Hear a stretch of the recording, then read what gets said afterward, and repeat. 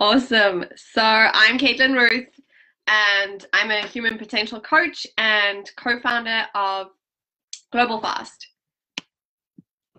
Yeah, and, and I, am, I am with Dorota Cloke, the co-founder number two of Global Fast, and this is our second episode of Optimal Self.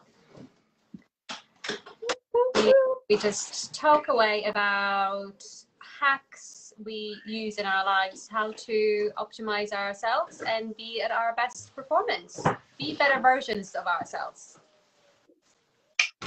Woohoo! We can all do, right? Yeah, easy. Totally easy. totally easy, yeah. Yeah. So um I wanted to share with you, well, with everyone today that I have been traveling, which is just like a mind swear word. Um, so during this, you know, during Corona.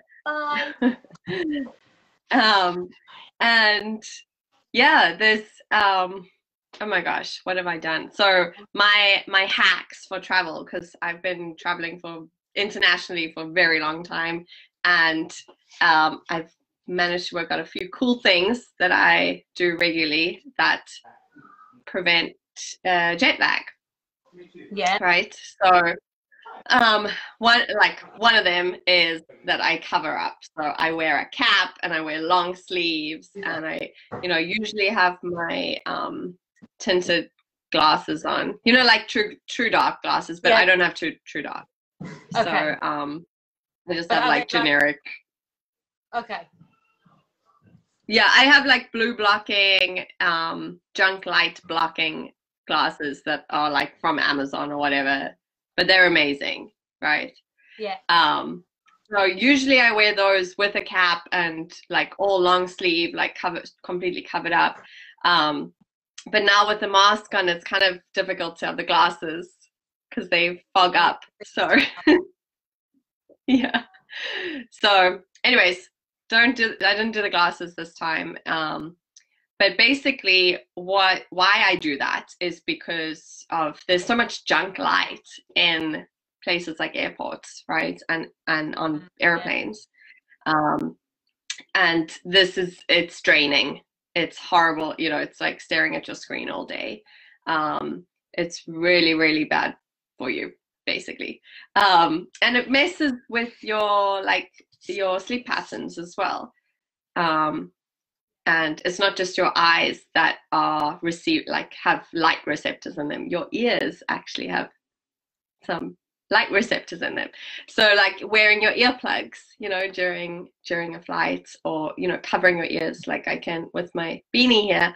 Um, that's kind of like really simple things that you can do to like protect yourself from junk light right? Yeah, interesting. Um, and yeah, and then the other like main thing for me is is timing. So timing on a flight, like how to time your flight so that you can like not um, struggle with with jet lag. Yeah. Um, does it does it matter and, which direction you travel? Oh, it totally matters. But. I I prefer uh, flying at night um, because I get to sleep. So yes. I, I, know a lot of people really struggle with sleep on a plane. Um, but I, you know, I take melatonin. Um, that's also an anti-inflammatory, which is great because you're, you're, you know, you're stressed and and like no matter if you're going on vacation or if you're going on uh, like a business trip or whatever obviously not many people are going on vacation and i get that and you know whatever. But there are people who are still traveling for business right now. Um yeah. and so you know um oh my gosh i just lost my words. What am i saying? What are we talking about? You're talking about uh, traveling at night uh, that uh, that's a preferred way of traveling. So you book a you, you book a night overnight flight preferably yeah right? usually i do that. Yeah. Um, and going, uh, so I'm in the US now, going to the UK uh, is easier for me um, then actually no, I'm lying. It's usually more difficult. But the last time I came over, um, it was it was extremely easy because I got in a solid night's sleep. Um, Yeah. and you know I was able to to get straight onto the um, schedule there. Yeah. Anyways, So, uh, do you need a snack? came- you were traveling uh, east. No, west. You were traveling west. Yeah. You're traveling west. So, uh, when you arrived to your destination, what was the time of the day? So it was the evening.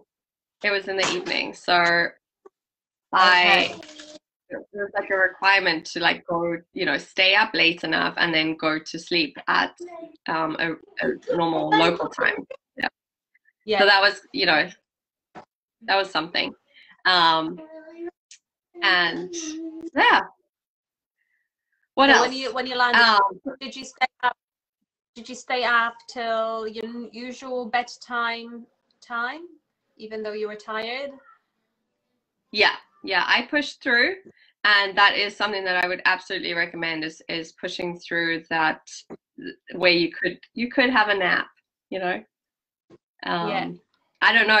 Have you done that before, where you've just pushed through a jet lag or a Yeah. uh, sleepy Yes.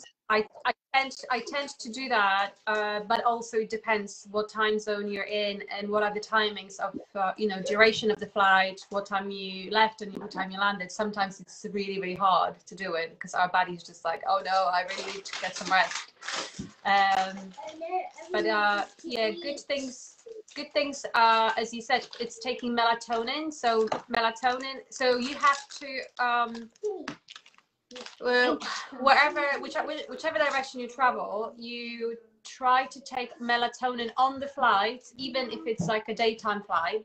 But you tr- uh, you try to get your seven eight hours sleep um, before you reach the destination. So you kind of So that's that's a little bit of a, a variable because I I've had a daytime flight now. Um, I was you know I didn't plan this trip very well, and I didn't get a nighttime flight like I usually do. So that kind of um, I had to adapt my usual uh, sleeping routine, you know, to to this flight, and I did um, I did nap on this the long flight coming over. Um, yeah it is exhausting flying. So like that's my excuse for having a nap. But naps are not um a, necessarily a bad thing. I just didn't try and cram in like I didn't try and make up sleep that I had lost or Oh, that I was gonna you know try and make up for, you know. Um Yeah. just try to like stay super present and like what do I need right now? Like I was up at whatever it was 4:30 in the morning so yeah like I need a little bit of a nap, a nap. Um, Yeah. and then I can, you know, carry on. Like I was, uh, you know, doing work on the on the plane and and all that, and so I was able to then have a little nap and then go back to work and do my work. Yeah. And I had a second nap as well, to be honest with you. um, but then, you know, when I landed, it's get like stay up and get into Yeah. the time zone that you're in you know another Yeah. another mind trick for that is to change your clock so Yes. change the time on your phone when you get on Yeah. the plane before you even go anywhere so your Yes, mind so is you are- already in the new time zone. in your destination time zone. Yeah. Yeah. Yeah. And when, what about Absolutely. eating on plane? What are your what what are your hacks on ter- in terms of eating? i love these so okay so what i used to do is is just make sure that i had a gluten-free meal i don't eat gluten normally um, unless it's christmas and my dad's baking ah! um, Uh, but so I, I usually order a, you know I request a, a gluten free meal um, and make sure that I um, fast before any mealtime. Now the thing with flying and traveling is that it again it is a stressful time. It can be a stressful time. So um, food is comfort, right? that's Yeah, Like, that, yes, so- true. sometimes it, it's very you know it's like in our whatever it's how we were brought up right um, our mothers feed us to make to soothe us Yeah. right so um, for me it's very difficult to fast an entire flight um, a, Yeah. well, a long haul flight i'm talking like long long haul so short flights whatever but like 10 hours plus it's very difficult Yeah. for me to do it so I fast until um, the meal time on the plane. Um, and then I, again, like check in with myself. Like, what do I need? I try to stay present um, and remove myself from that stress response, you know? Um, and and really notice like okay do i need to eat right now or is it just because it smells good and because i'm stressed Mm. the fuck up you know? Yeah. um well sorry. Oops. Um and then of course at your destination you know you want to um, get on um, your local time eating schedule right yes. so i landed at like five or six in the evening and i had dinner and i didn't eat Okay. you know late into the night or anything like that like i had dinner and then that was it um, Mm. and so this way we're also like getting into uh, local time routine Yeah. And how what how did you feel after the next morning, the next day when you woke up?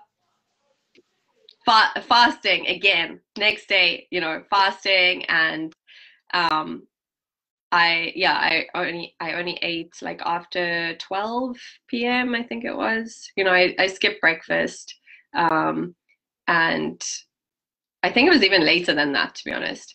Um but i went for a walk in the morning in the forest uh, got some Oh, fresh nice. air like did some grounding sun gazing i was thinking of you you're sun gazing um Yeah, and yeah yeah so grounding. yeah, I'm glad, I'm glad you mentioned grounding because that's really important to do, especially after a long haul flight. Uh, grounding uh, comes with you know various benefits, but also it uh, well it literally grounds us to the ground after being up in the air for so long. But um, it uh, balances our hormones, so Ah. you are you are more balanced and back to where you need to be uh, in your time zone. So that is uh, that that's the trick to it. And grounding is good in general uh, on daily basis. I started doing grounding again, even though it's cold and dark in the mornings. But I'm like, no, I need to ground myself because this is not good. good for you Yeah, and it, I, Yeah. I I don't know whether it's um you know subconscious uh, kind of or not, or there is there is a real science behind it, and I and there is, but I do feel hundred percent better uh, when I did grounding in the last two days only. Mhm. And so yeah, so you're back to normal, back in uh, back in uh, Tennessee time zone. I'm done. So done. i'm back baby Yeah. Good. yeah i mean like It's- it seems you know we need to do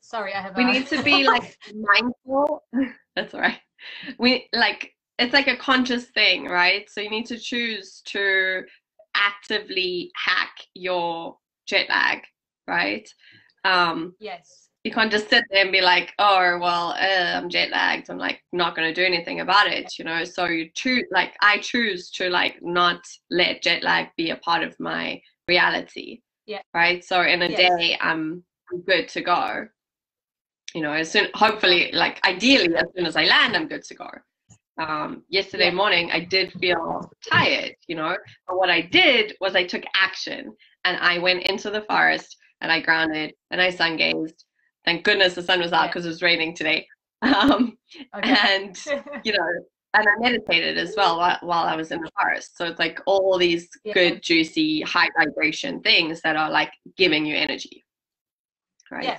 And, And- and- and the- They're all free. You don't have to pay for any of them. Yes, we Yeah. love free stuff Simple, free, free, available to us.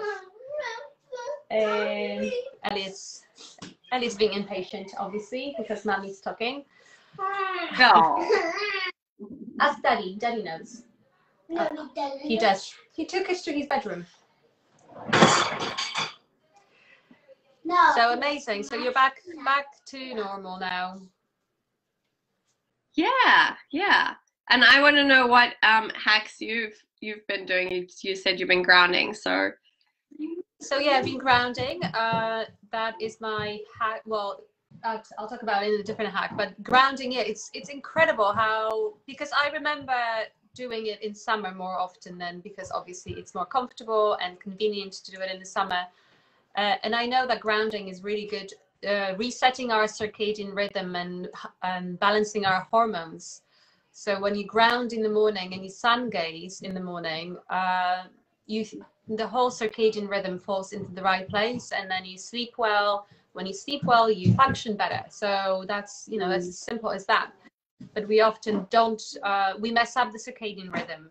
And you mentioned melatonin uh, taking on the flight and uh, and the junk light. So when you fly, junk light, any light, uh, suppresses melatonin production in our body. So if we don't produce melatonin, um, if we are constantly surrounded by junk light, even if it's a, a blue light uh, screen glaring in our uh, from our bedside table, from our alarm clock, from those little sockets with sharp, bl- uh, right, bright blue, piercing lights. Uh, Yeah. all of that combined um, and even you know on, on its own it triggers our brains into thinking that it's midday. So even when we sleep we don't sleep as we should be.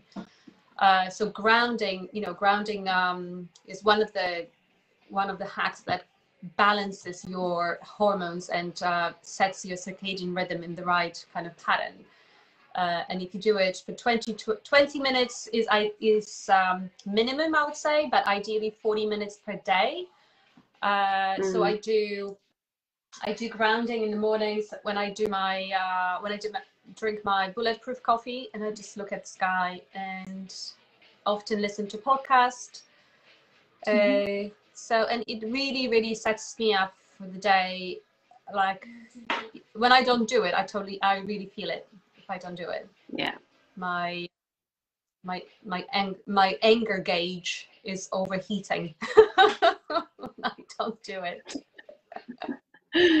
well, it's amazing, right? How we like we spoke about, you know, approaching life from presence, right? So basic I Yeah. mean you get presence, you get centered when you're when you're grounding and you do, you know, sun gazing and all these things.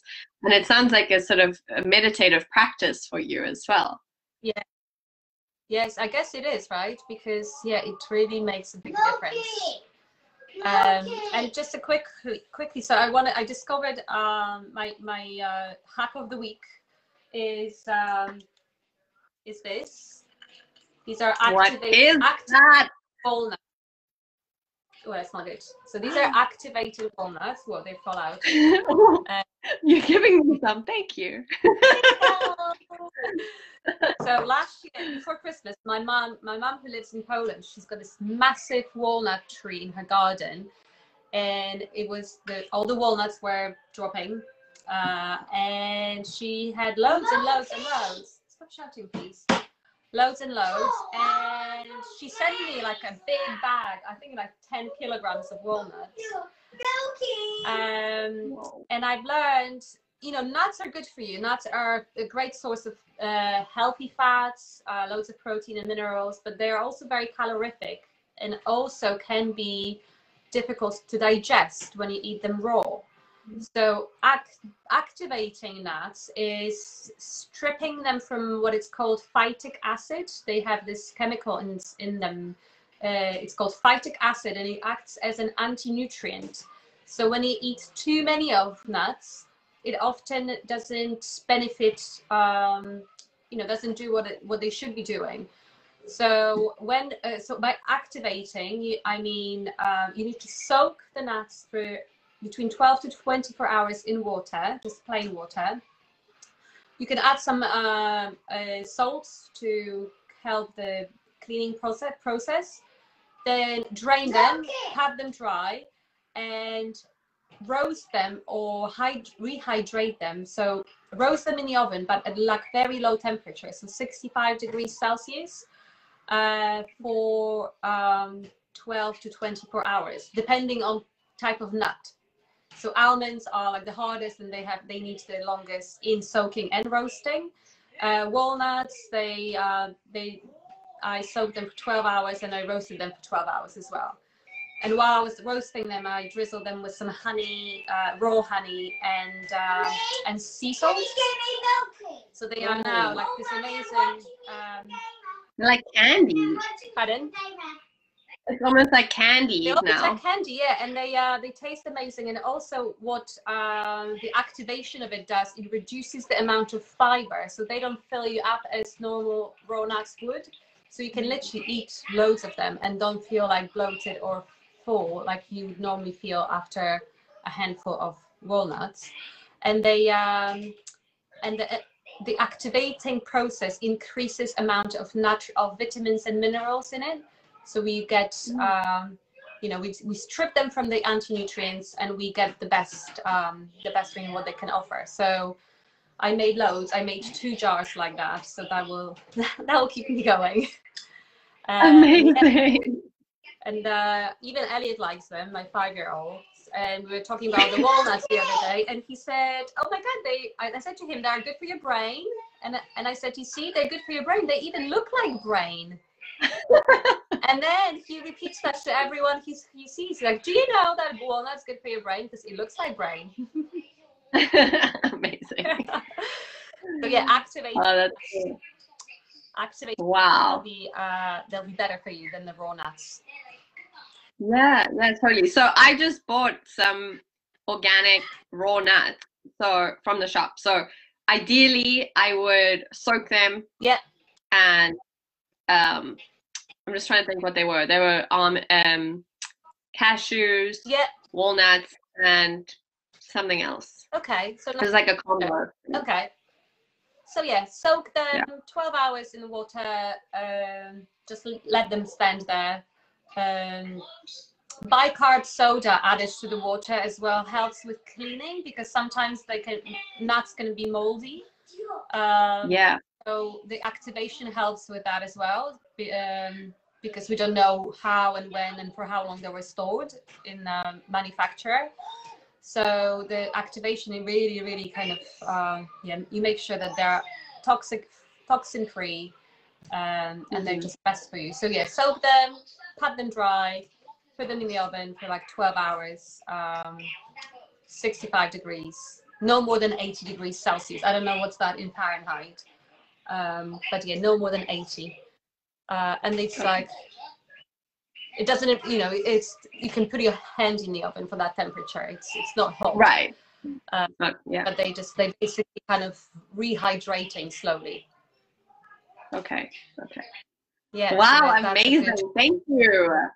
I feel like my next life is gonna be like way more. I mean, it's hacked now, right? Like, Yeah. because I always like I know a, a lot. You know, bulletproof like is all about you know eliminating potential avenues of getting mold in or around your Yeah. body, right? And that's you know, Yeah. so like biohacking, right? And so I've Yeah. always been super wary of um, nuts where I buy them, if they're raw Yeah. or not, like how they taste. Sometimes, like I remember getting a, a bag of um, pistachios and they tasted moldy, and I was, I just, I was like, this is just, you know, I don't know if they They have that, but like, yeah, they have that like rancid flavor, right? It's like really horrible. Yeah.